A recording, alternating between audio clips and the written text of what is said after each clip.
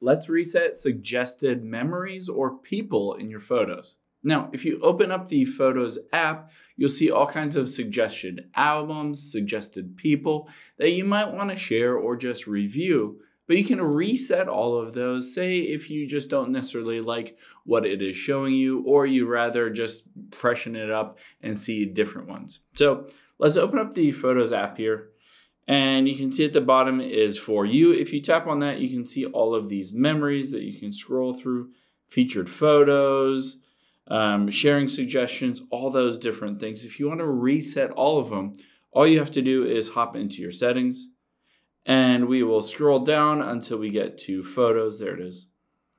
And then again, we will scroll down and you can see under memories, reset suggested memories. I can just tap on that and then reset people suggestions, I can tap on that.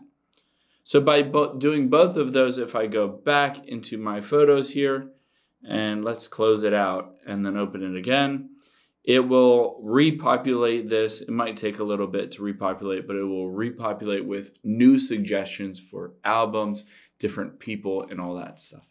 Hope this helps. Thanks for your time today, and I'll see you on the next one.